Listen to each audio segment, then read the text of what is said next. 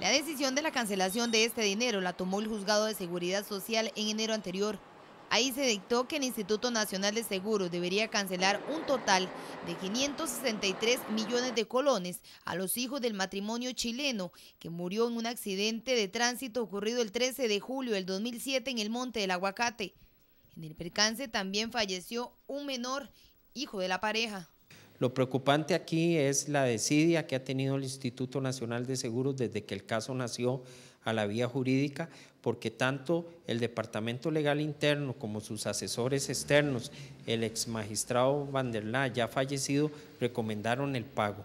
Sin embargo, ante esta resolución, el INS aseguró no estar de acuerdo, ya que según ellos, el día del mortal accidente, el conductor del vehículo no estaba trabajando, razón por la cual no lo cubría la póliza del INS. En este momento lo que se presenta es un fallo en primera instancia.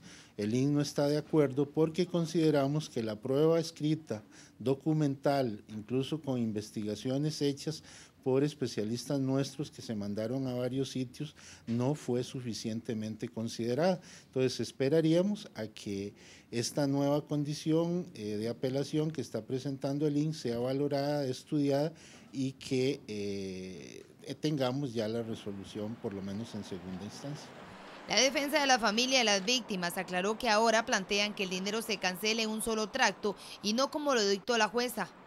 De ser cancelado en pagos, el Instituto Nacional de Seguros deberá pagar más de 11 millones de colones mensualmente a cada menor hasta que cada uno cumpla 18 años de edad.